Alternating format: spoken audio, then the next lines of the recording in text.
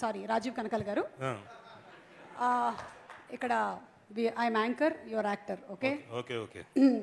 మీ జీవితంలో భాగ్సాలి మూమెంట్లు ఏమైనా జరిగాయా? దీనికి ఒక బిగ్ చాలా పెద్ద కథ ఉంది. అది ఏంటంటే చిన్నగా చెప్పండి. చిన్నగానే చెప్తా. చాలా చిన్నగా చెప్తా.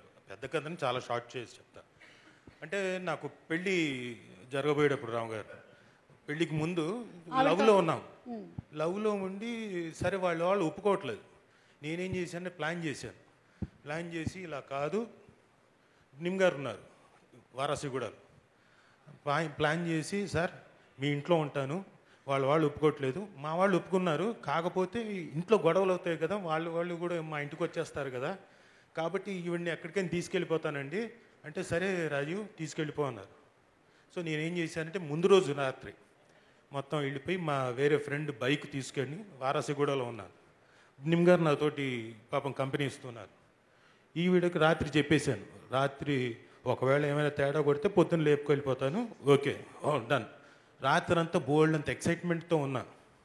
చేజు వారాసగుడి సొందల్లో చేజు అటు ఇటు అటు ఆ తర్వాత ఎక్కడికో యాదగిరి గుట్టకి మా అమ్మ నాన్న పెళ్ళి చేసుకున్న చోటికి వెళ్ళిపోదాం. అక్కడ దండలు మార్చేసుకుందాం. ఇంత.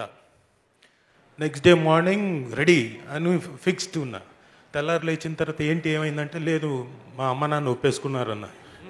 సో అక్కడ ఆ బాగ్సాలే కుదరలేదు. కాకపోతే కేరళ వెళ్ళినప్పుడల్లా బాగ్సాలేనే నేను కేరళ వెళ్ళినప్పుడల్లా బాగ్సాలే అక్కడ అందరి మధ్యలో నేను కూర్చొని రాజా వచ్చావా?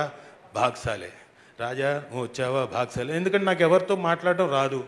కాబట్టి ఎప్పటికప్పుడు పరిగెడదామని ట్రై. కానీ కుదరలేదండి. రాజా. నీకు నిజంగానే ఇప్పుడు ఒక మంచి భాగ్సాలి మూమెంట్ క్రియేట్ చేస్తున్నాను. నీకు చెప్పా పెట్టకుండా మాకు కేరళ సంప్రదాయం ప్రకారం పెళ్ళయిన తర్వాత ఇంటికి తీసుకొచ్చినటువంటి పెళ్లి కొడుక్కి పెళ్లి కూతురికి పచ్చి పాలల్లో పచ్చి అరటిపండు నేసి తినిపించడం అనేది సంప్రదాయం எ- என்ன சார் ஜான் விஜய் சார் இப்பயும் பார்த்தானா அது அந்த மில்க் இருக்கும்ல ఆ రోజు రాజీవ్ గారు "వెబెబెబెబెం" అన్నారు ఈరోజు మీ అందరి సమక్షంగా నేను అది చేయాలనుకుంటున్నాను రండి రాజీవ్ గారు మీకు ఇదే మీ భాగ్సాలే మూమెంట్ ఏ, ఇది చాలా ఇది కక్ష తీర్చుకోవడం ఇదిగో. అయ్యో భలేవాడివే ఇది ఒకటే నా కక్ష. నేను ఇరవై మూడేళ్ళ నుంచి తీర్చుకుంటూనే ఉన్నాను. ఆ పట్టు? అయ్యో ఒక్క పట్టుకోవా.